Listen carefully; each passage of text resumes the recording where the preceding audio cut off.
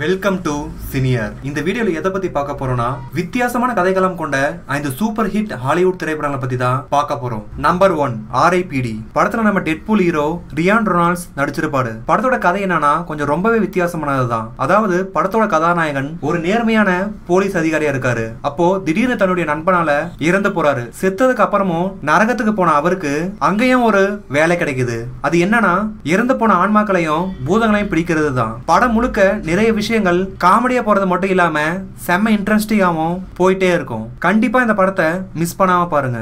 Number two journey ரெண்டாயிரத்தி எட்டுல வெளியான இந்த திரைப்படம் வசூல் ரீதியா மட்டும் இல்லாம மாபெரும் வெற்றி அடைஞ்சது. இதுக்கு காரணம் படத்தோட கதை தான். இந்த திரைப்படத்துல நம்ம ட்வைன் ஜான்சன் நடிச்சிருப்பாரு. படத்தோட கதை என்னன்னு பாத்தீங்கன்னா எரிமலை ஆராய்ச்சி செய்யறதுக்காக ஹெலிகாப்டர்ல போகும்போது அங்க எதிர்பாராத விதமா காலநிலைகள் மாறி ஒரு புயல்ல சிக்கிக்கிறாங்க. இதெல்லாம் அடிச்சிட்டு போற இவங்க கண்ணை திறந்து பார்த்தா நினைச்சு கூட பார்க்க முடியாத அளவுக்கு ஒரு புது உலகத்துக்குள்ள போறாங்க. அங்க போனதுக்கு அப்புறம் என்ன நடக்குது? அங்க இருந்து எப்படி அவங்க தப்பிச்சு வராங்க? அப்படிங்கறது தான் படத்தோட மீதி கதையே. படம் முழுக்க நிறைய காட்சிகள் ரொம்பவே அருமையா இருக்கும். இது வரைக்கும் இந்த படத்தை பார்க்காதவங்க கண்டிப்பா ஒரு முறையாவது இந்த படத்தை பாருங்க.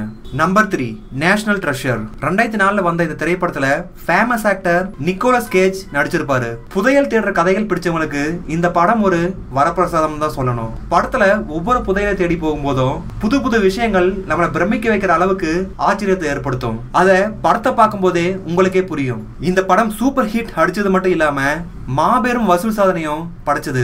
இதன் காரணமாவே இந்த படத்தோட ரெண்டாவது பாகமும் வெளியாகி அதுவும் மெகா ஹிட் ஆச்சு.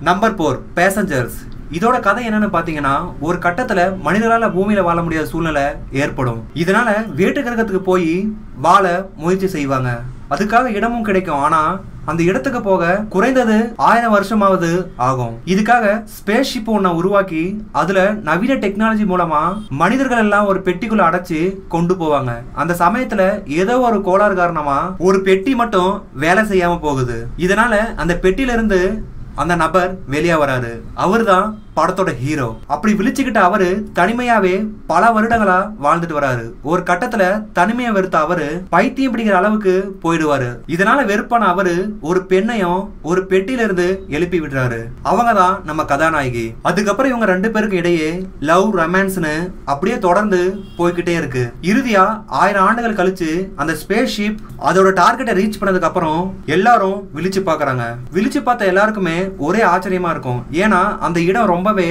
பசுமையாகவும் விலங்குகளுடனும் காட்சி அளிக்கும் ஹீரோ ஹீரோயின் ரெண்டு பேருமே வயசாகி இறந்துருப்பாங்க. படம் பார்க்க பார்க்க அவ்வளோ இன்ட்ரெஸ்டிங்காக போகும். கண்டிப்பாக இந்த படத்தை மிஸ் பண்ணாமல் பாருங்கள் நம்பர் ஃபைவ் வார்கிராஃப்ட் ரெண்டாயிரத்தி பதினாறு வெளியான இந்த திரைப்படம் ஒரு ஃபேண்டசி திரைப்படம். படம் முழுக்க சண்டை காட்சிகளும் மாயாஜாலங்களும் அதிகமா இருக்கும். ஒரு பெஸ்டான ஃபேண்டசி திரைப்படம் பார்க்கணும்னு நினைக்கிறவங்க இந்த படத்தை கண்டிப்பா பாருங்க. இந்த படத்தோட கதை என்னன்னு பாத்தீங்கன்னா வேறொரு உலகத்துல இருக்க ஆர்ட்ஸுங்கிற கொடூரமான இனம் அப்பாவி உயிர்களை கொலை பண்ணி அதன் மூலமா டைம் போர்ட்டல் ஒன்று உருவாக்கி பூமிக்குள்ள நுழையிறாங்க. பூமிக்குள்ள நுழையிறது மட்டும் இல்லாம மிகப்பெரிய அராஜகங்களையும் பண்ணிட்டு வராங்க. இதனால பூமியில வசிக்கிற மக்கள் அதிக சிரமப்பட்டு ஒரு கட்டத்துல பொறுமை இழந்த அவங்க ஆர்ட் சின்னத்தை எதிர்த்து போராடுவாங்க. இதுதான் படத்தோட மீதி கதையே. படம் முழுக்க நிறைய அட்வென்ச்சர் காட்சிகள் இருக்கிறதால இந்த படம் போரே அடிக்காது. அதே சமயம் படத்தோட விஷுவல் எஃபெக்ட்ஸ் எல்லாம் அந்த அளவுக்கு சூப்பரா இருக்கும். இந்த அஞ்சு படத்துலயும் உங்களுக்கு பிடிச்ச படம் எதுங்கிறத கீழே கமெண்ட் பண்ணுங்க. இந்த வீடியோ பிடிச்சிருந்தா லைக் பண்ணுங்க. ஃப்ரெண்ட்ஸ் கூட ஷேர் பண்ணுங்க. மேலும் இது போல இன்ட்ரெஸ்டிங்கான வீடியோக்களை பெற சீனியர் சேனலை சப்ஸ்கிரைப் பண்ணிட்டு கூடவே அந்த பெல் ஐக்கானையும் பிரஸ் பண்ணுங்க.